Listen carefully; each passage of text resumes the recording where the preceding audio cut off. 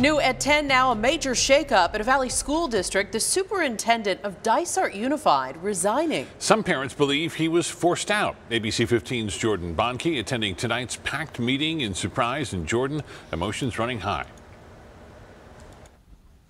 Steve Katie, the best way to describe it, it was a hot crowd, emotions running high, in a near capacity venue, um, or on, on the district rather, uh, as many people just speaking out freely throughout this uh, throughout this meeting. Quinn Kellis not in attendance tonight. That's the former now former superintendent. The vote was three two here in the end. The reason as to why he's stepping down isn't very clear. Now we did hear from school officials close to Kellis who say he didn't want to resign. He has a year left on his contract, and the district has to now pay that out. What is clear is that there are differences in how the board and the superintendent wanted the district to run, but most people tonight spoke in favor of Kellis, including the surprise mayor, Skip Hall, who sang his praises as an educator, as a superintendent, as a man for two straight minutes. Here's some more people who spoke publicly tonight.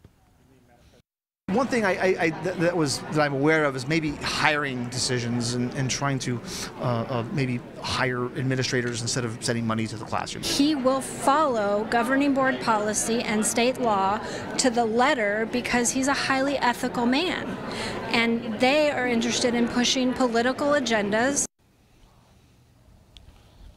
Now, in response, there is an effort to gather signatures to recall two of the board members who voted to accept the resignation of former Superintendent Kellis. Jim Dean, who was the assistant superintendent, he is now the acting superintendent. We were not able to reach Kellis when we were gathering for this story, and it's unclear exactly as of right now how much the district is going to have to pay out the remainder of the one year that's left on former Superintendent Kellis's contract. We are expecting, however, a statement from the district sometime tomorrow morning. We're live in Surprise tonight. Jordan Bontke, ABC 15, Arizona.